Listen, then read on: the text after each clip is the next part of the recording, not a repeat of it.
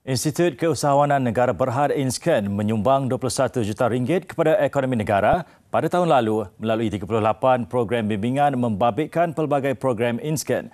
Menteri Pembangunan Keusahawanan dan Koperasi Dato' Iwan Benedict berkata, Inscan berjaya melatih 21,385 usahawan melalui 502 program latihan dan bimbingan yang melebihi daripada sasaran awal iaitu 13,390 usahawan dan 422 program.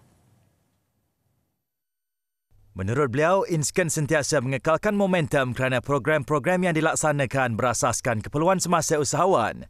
Justru beliau percaya dengan kesungguhan Inscan membantu usahawan di seluruh negara, lebih ramai usahawan akan dapat memajukan perniagaan dan seterusnya membantu menyumbang kepada pertumbuhan ekonomi negara.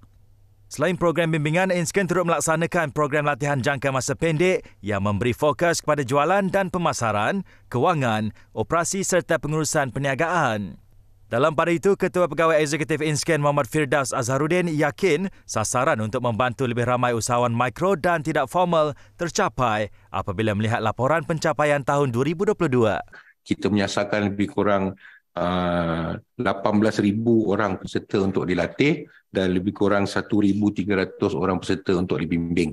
Ini adalah uh, kerana jumlah peruntukan yang disediakan oleh untuk Inscan oleh kerajaan Uh, tahun lepas kita membelanjakan uh, 10 juta ringgit untuk program-program InScan.